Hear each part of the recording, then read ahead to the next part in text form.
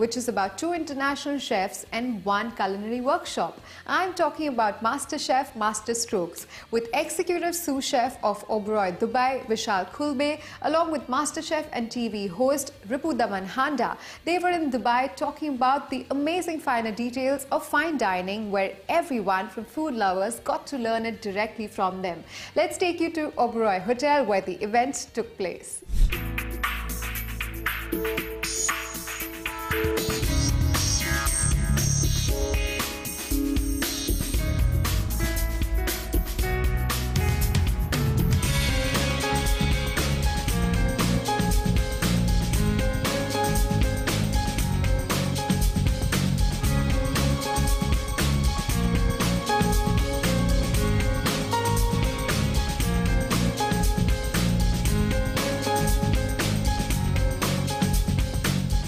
cooking with Ripu today for first time, cooking on a TV show for first time. Um, so it's been a great experience.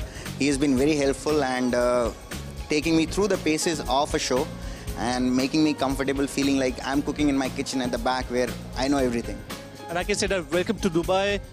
Dubai और ब्रॉय और मैं हूँ Ripudaman Handa first time UAE में आया हूँ मैं और यहाँ पे इतने सारे लोगों के साथ मतलब सामने कुकिंग करके पहली बार अपने देश से बाहर निकल के लग नहीं रहा कि मैं दुबई में बैठा हूँ। मुझे लग रहा है कि मैं इंडिया में बैठा हूँ और हमारे जो शेफ़ हैं वो भी इंडिया से ही है लेकिन यहाँ पे अपना नाम रोशन कर रहे हैं। शेफ मुझे लगता है कि आज की जो डेमोस्ट्रेशन है ना हमारे साथ साथ बाकी लोगों को भी बहुत मज़ा आया यार एक्चुअली मेरे को यही लगता है कि जिस हिसाब से रिस्पॉन्स था वो तो बहुत अच्छा था और I feel comfortable so anything you are comfortable with means it is good I think मेरा वट एवर यू डू मेरा मानना है कि जब भी हम खाना बनाए तो कुछ हेल्दी बनाए कुछ जल्दी बनाए और कुछ क्विक बनाए जो लोगों को बहुत ज़्यादा पसंद है। और मेरे सामने जो शेफ़ है ना उनको भी यही पसंद है। आज हमने यहाँ पे 15 से 20 मिनट के अंदर तीन से चार रेसिपी खत्म कर दी? हमने दो घंटे हुए कुकिंग करते हुए इन फ़ूड शो में।